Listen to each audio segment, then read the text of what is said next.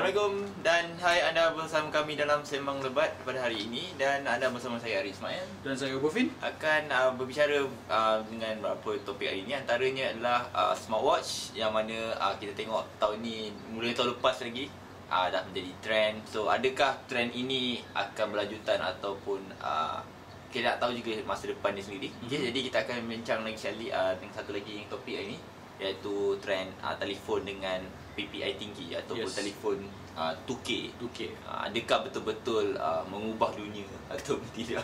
So kita akan bincang uh, mengenai topik itu ini. Hmm. Jadi uh, kita akan bercakap mengenai smartwatch yang mana bermula tahun lepas eh, Samsung telah memperkenalkan uh, mula pada Sony lagi saya, ingat- saya ingat saya. Smartwatch yang first smartwatch first kan dan uh, kita tengok pada Samsung menggunakan Samsung Galaxy Gear dan uh, trend Android Wear Yes. dengan Tizen daripada Samsung okey kita smartwatch okey kalau kita tengok daripada trend ni obvious apa pendapat obvious ni kalau tengok daripada smartwatch ni benar betul ke orang pakai smartwatch ni sebenarnya Setakat ni Ah. kalau dilihat uh, secara rawak kalau Hmm. kita bergerak di Kuala Lumpur Hmm. Kita gunakan Kuala Lumpur sebagai kayu pengukur pasal kasih kawasan metropolitan dan orang yang paling tech savvy akan semestinya di Kuala Lumpur ha Dan saya sebenarnya tak nampak sangat orang memakai jam pintar ni. Untuk Jarang. setakat ni. Jarang sangat.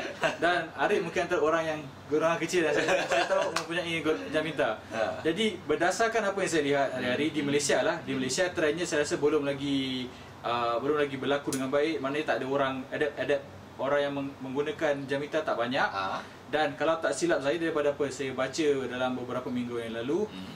Penggunaan jam pintar itu sendiri adalah rendah Hmm. Tak silap satu daripada empat orang yang membeli jam pintar Ha. Yang kekal menggunakannya selepas beberapa bulan Ah. Selebihnya lepas tu dah tak pakai dah Jadi kat situ kita boleh nampak mungkin ada correlation antara Antara bangsa dengan Malaysia Ah. Ada persamaan di mana tak banyak sangat adoption rate Ah. orang menggunakan peranti itu So sendiri sebab mungkin orang tak gunakan jam tangan pintar ataupun Hmm. dah lepas 6 bulan tu sebab mungkin satu malas charge lah. Hmm. Bagi saya saya sendiri pun ha, ah, Ceritakan masalah anda sendiri pengalaman saya pakai smartwatch ni Hmm. uh, masalah yang pertama ialah memang setiap hari kena charge so macam kita dah banyak uh, macam Hmm. ada telefon ada tablet lepas tu kita nak kena fikir pasal jam lagi uh, macam Yep. mana so macam priority lah kita selalu macam okay, ah, baik charge telefon baik charge tablet so Hmm. telef uh, smartwatch akan macam menyusahkan Okey.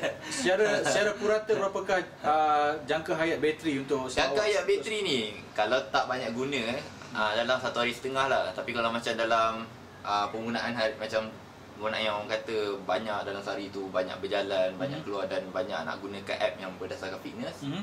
Memang dalam Tak sampai dalam satu hari Kadang daripada pagi sampai petang macam tu lah Okey. Sebab kita tahu yang smartwatch ni Dia punya masalah Dia bateri dia kecil, Bateri kecil. kan? 200 mah saja. so dengan Lepas tu dalam tu ada lagi OS dia lagi kan Mhm. Contoh macam Android Wear Macam saya saya tengah pakai uh, Android punya OS So banyak makan bateri sebenarnya Okey. Tapi bagusnya bila pakai Okey. smartwatch ni Dia punya kelebihan ni lah kita boleh Orang kata Macam dia extension Okey. Ha, bila dia kita nak tahu macam kita tengah berlari, kita Hmm. buat fitness apa semua, so kita just extension dengan dia.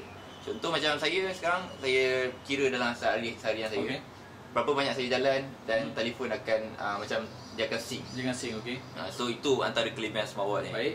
Ha, lepas tu kalau kita tengok satu lagi kalau dalam meeting kan, kalau macam kita masalah kita macam budaya lah orang kata kalau pegang phone macam macam nak nak, nak check ke? Ha nak check je. Kalau telefon tu macam nak check. Kalau, kalau smartwatch kita just tengok at a glance macam tu macam tengok sebentar lalu. Betul. Ah, oh, okey. Dah ada ada notification ah di email baru. Okey, dah cukup. Mhm. Jadi kita tak payah nak pegang phone. Kita kalau pegang phone ni macam nak tengok okey tengok apa lagi apa lagi macam Okey. ah distraction lah. Jadi pada pendapat Arif adakah ada masa depan untuk smartphone di ah, smartphone. sebenarnya di smartwatch Malaysia? ni satu kepentingan yang orang kata optional. Okey. Ah, maksudnya- sebab kita tahu yang ah, orang tak semua pakai jam. betul? tak semua pakai jam tangan pintar Macam Oben sendiri pun tak Tak pakai pakai. uh, uh, Kenapa macam Oben ni tak pakai sendiri? tak pakai pasal dah Ah. ada dah ada smartphone. Dah ada smartphone. Bila kita dah ada dah ada sebuah telefon pintar, Ah. dia sepatutnya dah mengubah ke semua keperluan peranti lain ke dalam satu Hmm. peranti. Itu Hmm. saya saya. Pribadi. Lepas tu saya tak bawa kamera dah, saya tak bawa organizer, Hmm. saya tak bawa uh, camcorder. Ah. Cukup dengan sebuah uh, telefon pintar buat masa ni adalah memandai, memandai untuk kegunaan harian saya. Ah, so betul juga kan kalau kita tengok orang ramai banyak guna phone. Hmm. Kalau kita tengok dalam cerita apa uh, apa cerita di internship Internship, Ah. okey, okey. Ada satu part yang pertama tu yang awal-awal punya scene tu kan yang mana dia uh, bercerita mengenai uh, sebuah syarikat jam tangan Jam tangan. yang dah nak tutup. Betul, betul. Sebab Betul. orang dah ramai pakai telefon Betul. sebagai jam.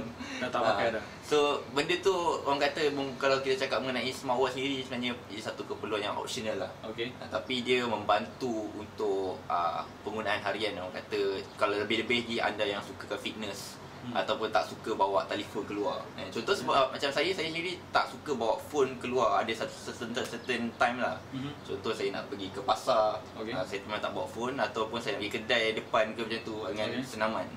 So tel, uh, tel, uh, jam tangan pintar ni lah yang sebenarnya membantu untuk rekodkan aktiviti kita Okey. dan balik rumah nanti dia akan sync dengan phone kita. Baik, baik, baik. Ah, so itu antara kelebihan dia. Saya lah. tidak keluar dan tidak bawa phone.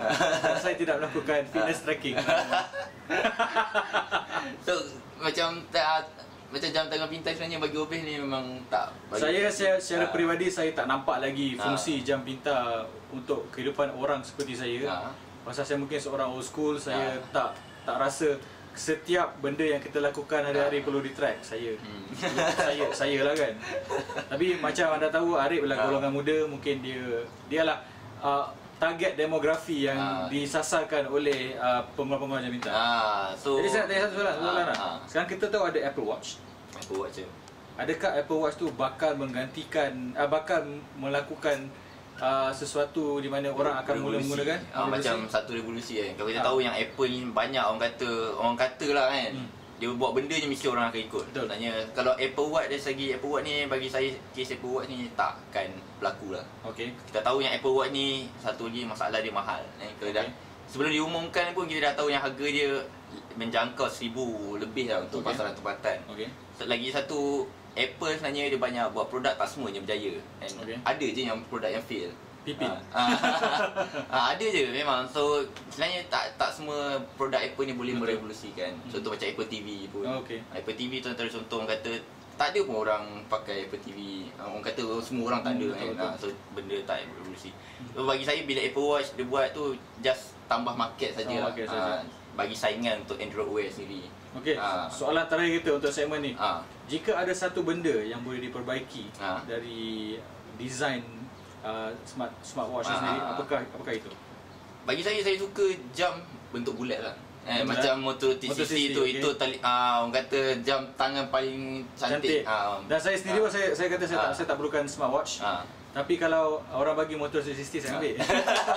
saya memang cantik. Saya akui itu memang Ah, cantik. sebab saya pernah tengok orang pakai real life kan bila pakai motor GST tu memang eye catching memang Memang nampak cantik ah, lah. memang nampak Okey. cantik kan dia tengok uish pakai 360 dia macam Rolex lah macam Macam Rolex untuk Ah, jam pintar. ah, untuk jam tangan pintar so design dari segi design tu bulat lebih cantik lah Baik. berbandingan kotak. Kotak, Ah, seperti cuma masalahnya sekarangnya orang apa orang kata pengeluar untuk jam tangan pintar Hmm. tak banyak buat bulat sebab dari segi Skrin. bahan lah. Hmm. bahan skrin tu so macam menyusahkan sikit. Ha, so itu banyak kenapa orang uh, banyak pengeluar orang buat Okey.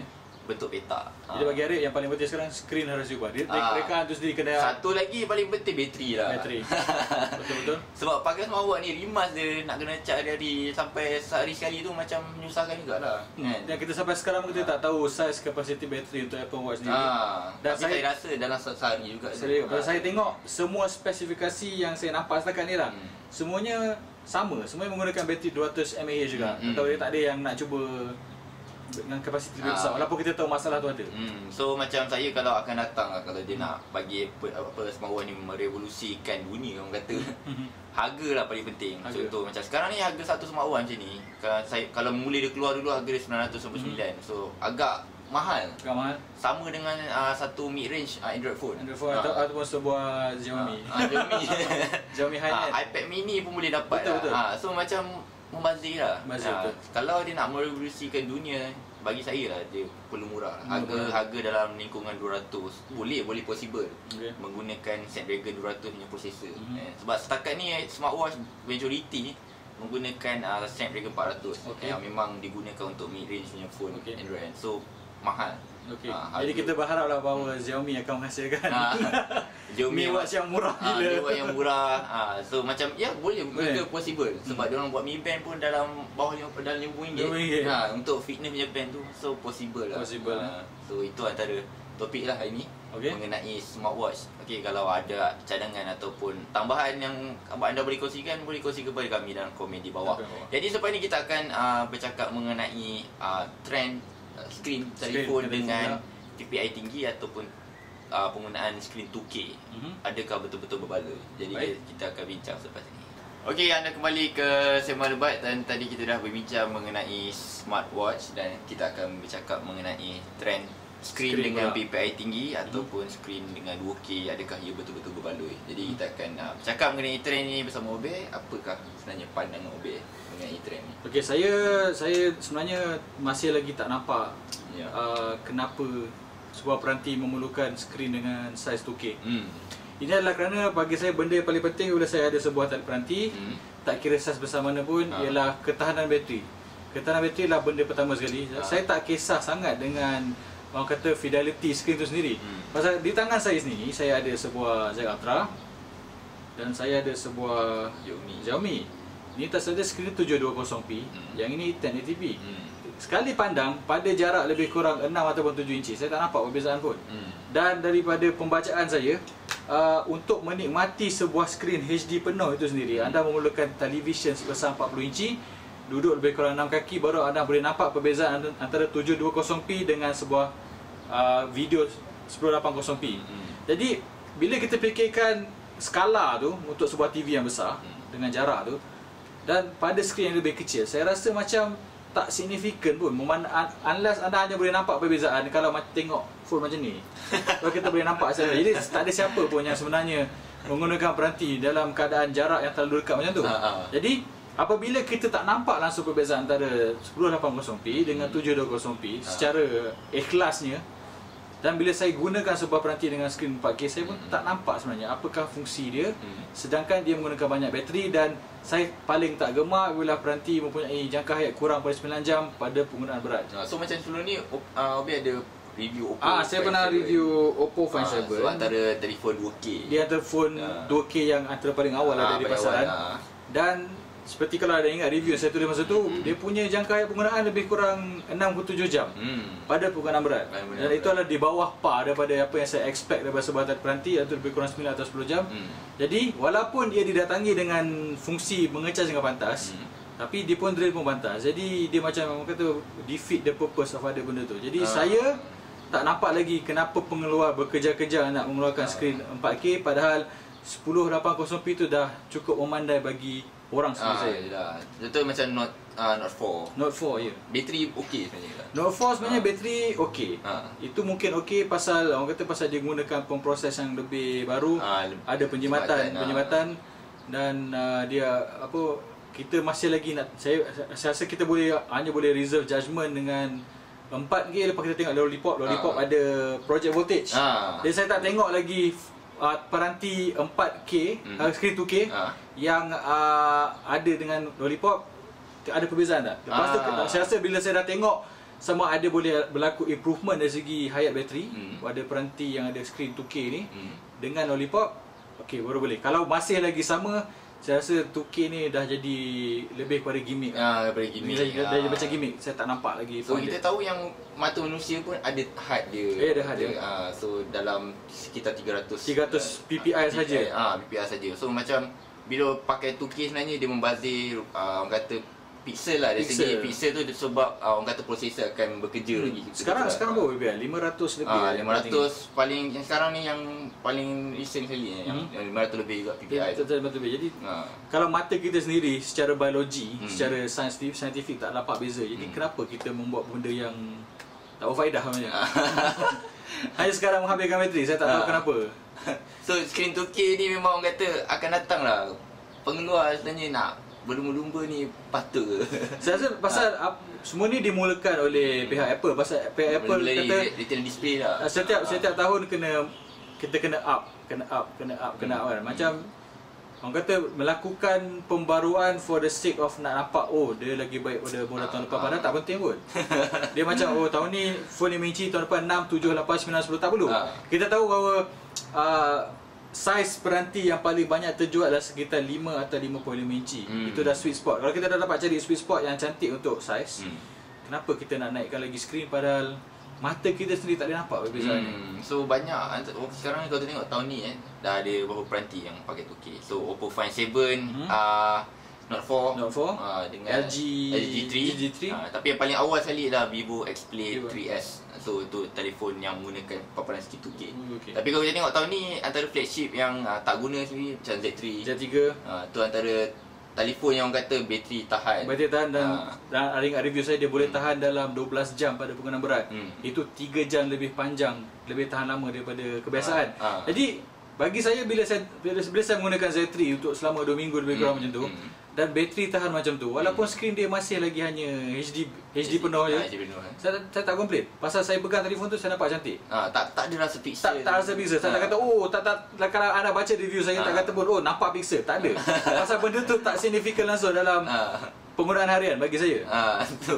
Benda macam tu tak orang kata tak perlulah macam yalah pakai 2K Hmm. untuk telefon tapi satu lagi macam masalah ah, bateri, Hmm. masalah apa panas je macam Oppo Find Ah seven. sebenarnya tak tak ada panas. Masalah panas Ah. tu tak ada. So macam tu lah dia banyak bazir dari segi pixel lah. Pixel betul. Bagi saya dia hanya hanya melakukan sesuatu yang kita sendiri tak nampak. Ah. Jadi kita membayar premium untuk skrin yang lebih mahal. Hmm. Padahal kita tak boleh sebenarnya enjoy perbezaan sebenar dari segi cantik ke tidak skrin tu. Hmm. So sekarang kita dah memang tahap yang tepu lah kata macam orang kata HD penuh lah paling optimum. Ah, dah tepu. Dan dia, saya rasa nanti dalam dalam minggu akan datang kita akan Ah. bincang tentang adakah ad, apakah speed yang kami rasakan Hmm. uh, elok untuk peranti. Hmm. Perlukah kita pergi lagi untuk upgrade sampai quad Ah. core, octa core, apa 16 core ke apa. Ah, ah. Jadi kita tak mau jadi macam uh, melakukan improvement kepada peranti semata-mata untuk baik pada model tahun lalu padahal kita tak perlukan. Hmm, so itu cara mengenai tadi uh, screen lah. Hmm. Uh, tapi kalau macam 4K apa semua better kat TV lah sebenarnya. Saya rasa TV, kat TV pun saya rasa uh, cuba anda, anda angkat tangan berapa banyak yang ada kenal orang menggunakan skrin 4K. Uh, Saya tak kenal. rasa rasa komputer pun tak ada. Komputer pun tak ada. Saya kenal yang orang yang guna skrin 4K. Ha. Gamer saya kenal dua orang ke. Itu pun pasal dia nak tunjukkan bahawa dia punya komputer dengan SLR dia boleh buat 4K. Dia Hmm. boleh dia boleh run Crysis kat 1000 frame per second tu lebih kurang macam tu. Dia setakat nak menunjuk bukan untuk praktikal. Saya sendiri menggunakan skrin masih lagi HD penuh. Hmm. Saya rasa tu dah memandai untuk saya. Hmm. Jadi Rasa bagi- bagi untuk orang kebiasaan saya rasa 4K ni dah uh, 4K dan 2K ni Hmm. dah jadi macam gimmick uh, telefon 3D Hmm. Dengan TV 3D. TV 3D. Sekarang dah orang dah tak teruskan. Ah, orang tak teruskan. 3D TV pun anda boleh tengok dekat Harvey Norman ke dah macam dah tak tunjuk Dah, sangat. dah kan? tunjuk dah. So benda tu dah jadi satu gimmick. Gimmick. Ah, so akan datang pengeluar apa yang patut pengeluar buat untuk skrin sebenarnya. Bagi Dari saya teknologi ke macam Sony buat luminous uh, display ke macam mana? saya suka Ah. saya suka Super LCD3 sebenarnya. Ah, dia, Dia punya warna dia. Warna dia dah okey Ah. semua. Tapi bagi saya yang paling penting sekarang yang harus diketengahkan oleh para pengeluar bukanlah teknologi skrin Hmm. tapi teknologi bateri itu sendiri. Okey, kita sekarang dah nampak dia orang dah mula menggunakan teknologi Hmm. rapid charging Hmm. uh, yang dah ada sejak Snapdragon Ah, 800. 800 Ah. yang sekarang baru nak gunakan tak tahu kenapa baru Ah. tahu nak pengecasan pantas. Hmm. Itu lebih penting. Ya. Pengecasan pantas dan bateri bagi saya itu lagi penting. Saya rasa bila orang uh, beli peranti sekarang dia dah tak peduli tentang Ah. kete- ketebalan. Baik. Dulu mungkin zaman Ah, Apple oh ah. tin tin tin apa tebal lagi Ah. 2 mikrometer orang orang peduli. Sekarang tak peduli. Tak orang sekarang pedulikan jangka hayat Nah. dengan kamera saya rasa. Kamera, Saya ah. ni saya lah bagi saya kamera dengan jangka hayat. Nah, jaga ayat. So macam tu lah orang kata telefon sekarang dah sampai tahap optimum Optimum. nipis dah nipis lah Betul. ha, cuma bateri je masalah Dia macam Ha. kita tengok masa zaman komputer tu Hmm, CPU kan hmm, orang hmm. nak buat uh, speed makin laju makin makin laju sekarang kita dah lebih lebih kepada multi threading pula Ah, sekarang. multi-threading. Jadi pasal itu itu lebih berguna untuk Ah. melakukan multitasking Ah. dan bukannya clock speed sampai 18 GHz ke apa. Kita dah nampak kan sekarang. Ah. Jadi kom- komputer tu dah saya rasa dah tunjukkan roadmap Ah. Mungkin apa akan jadi pada kita punya peranti pintar Ah. Mungkin kita tak akan lagi gila kepada speed Hmm. Tak lagi gila kepada uh, skrin tinggi Mungkin lebih mengalir kepada Melakukan pemprosesan dengan lebih optimal dan jimat ha, so penyebab dari segi bateri Betul. ha, semua so itulah uh, topik mengenai uh, display Display Ha, dan kita yang satu kata putus yang display 2K sebenarnya tak berapa orang kata keperluan. Bagi saya tak perlu lagi Tak Tak, tak lagi. nampak lagi bahawa 2K tu akan membawa evolusi kepada tu. Ah. Dan kita kalau kita tengok pun sekarang kebanyakan orang dengan skrin 720p sendiri pun dah memandai. Dah mulai. Saya sendiri pun 720p saya tak saya tak komplain. Bagi saya Hmm. saya boleh uh, tengok YouTube Hmm. pada jarak dalam lapangan apa dalam satu depa dah Ah. cantik dah cukup. Ah, selalu orang yang yang gilakan pixel ni sebenarnya orang apa lah dia. Orang yang, Ah. orang yang Selalu orang grafik lah. orang yang, betul. orang yang gila pixel. saya streaming saya sendiri walaupun Ha. saya di device saya streaming Ha. kat phone saya 720p je saya tak Ha. tak pergi HD pun macam Ha. YouTube je pun betul tak YouTube HD pun macam cantik ke beza kan tak macam tak nampak dia punya penggunaan secara menyeluruh Ha. 1080p sendiri pun saya tak menggunakan dengan menyeluruh Ha. so nampak tu lah kalau buat 720 nampak blur dari segi dekat lah Ah, tapi dekat. dekat jauh dah Okey. tak ada masalah. mata kita tak nampak pun sebenarnya Ah, okey. macam ada kata dia 300 ppi tu dah sampai tahap tertinggi mata kita boleh membezakan Ha. Dan lebih tu dah nampak macam sama je. Sama je, kita mata tak tak beza. Ha. Jangan percaya kepada brosur sebenarnya. percaya mata anda sendiri. Okey, jadi kita dah bincang mengenai topik uh, skrin dengan PPI tinggi Ya. uh, dan kita dah bincang tadi mengenai smartwatch. Betul. Eh. So antara dua-dua topik ni kita tengok mana akan datang punya topik lah eh. Mhm. Yang mana kita tengok pengeluar sebenarnya dah sampai satu tahap yang dah tepu. Dah tepu Ah, dah So sebenarnya paling paling berguna orang kata oh, paling orang nak sangat ialah penggunaan bateri. Dari segi macam saya cakap tadi mengenai smartwatch Ah, bateri menjadi ma- Bateri. menjadi isu dan Bateri makin besar atau penggunaan bateri lebih vital. Ha, ataupun prosesor lah orang kata penggunaan prosesor lebih optimum Mhm. mm-hmm. ataupun dalam telefon mengekalkan orang kata full, uh, full HD tu HD penuh tu dengan ataupun membuat satu prosesor yang lebih uh, optimum Betul. untuk penggunaan bateri. Betul. Jadi uh, itu antara topik uh, kita dah sembang pada minggu ini. Mhm. Jadi jika, uh, jika anda mempunyai sebarang cadangan ataupun tambahan ataupun kritikan uh, boleh kongsi kepada kami bawah. melalui komen di bawah. Dan jadi sekian itu saja. Saja.